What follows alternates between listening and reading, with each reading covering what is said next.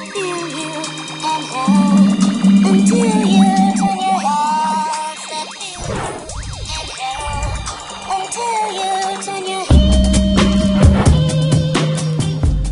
right, the Braapster Midsize Pro. This is the newest baby and newest Braaap family member, and the reason why is this is a mid-size bike. So the seat height's actually a touch taller. We still call it a pit bike, and this shares pretty much the same specs as the Braapster Pro. It's just got a bigger frame and a touch bigger suspensions.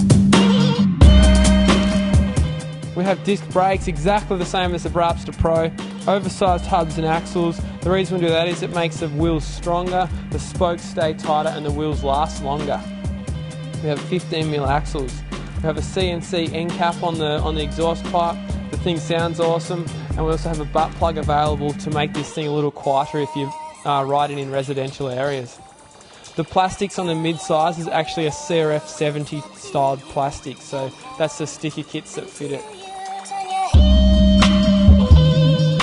Alright, so the front forks on this thing are upside down forks. Now, as we said before, the reason this thing's more affordable than the Maestro is not because we've cut corners, it's just that it doesn't have quite the added extras that the Maestro has. So this still has really good front forks, it's just it doesn't have the fully adjustable bit on the top. To adjust the suspension um, in the front here, you need to adjust the oil weights and the, and the amount of oil you, you use in the front fork.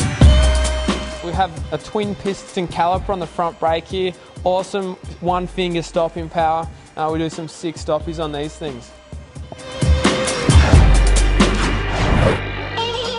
It's a double reinforced frame, so it's really strong. We've had people doing up to 80 foot jumps and over on these things. They're going to hold up to any weight. There's no weight limit on this bike.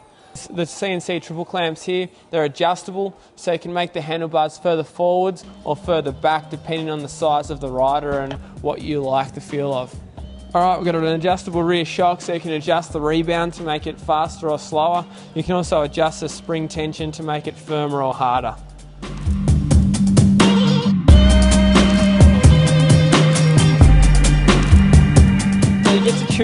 140cc and a 150cc engine on the midsize Pro.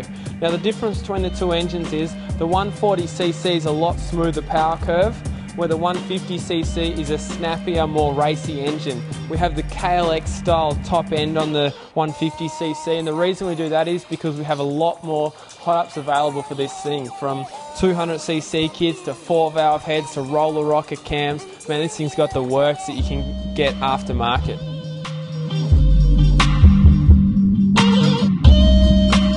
Right here we have the front sprocket chain guide and the reason we have this is it, firstly it's removable so you can clean the muck and dirt out of there that gets caught in there on a wet day and also it protects your leg from getting any, any of your trousers or boots or anything caught in the chain.